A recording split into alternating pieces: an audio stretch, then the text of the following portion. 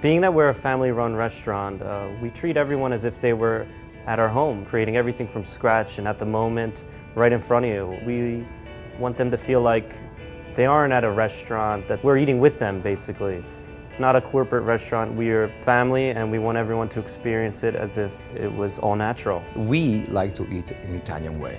So in Girasole for over 20 years, uh, we have uh, prepared dishes uh, uh with people, like the chef, the, the server, the family existing in Girasole that present such dishes, authentic dishes from Naples.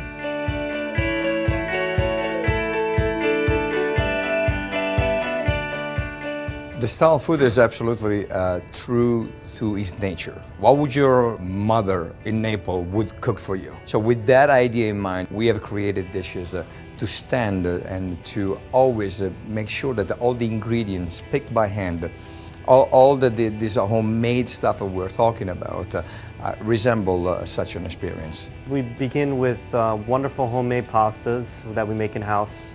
We also have all homemade breads made from scratch. We have focaccia, we make wheat bread. Also, our pizzas are absolutely wonderful. You won't find any pizzas like them in the area. Made with fresh mozzarella, homemade tomato sauce. The dough is prepared every day fresh with fresh chopped basil, and all the wonderful fixings you can imagine.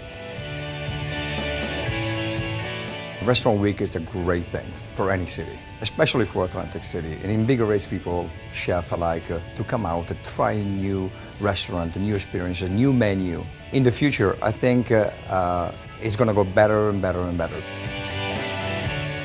Restaurant Week is an opportunity for people to come and try a restaurant that haven't been here before. And once they try, we know they'll be back because the experience and the food is impeccable.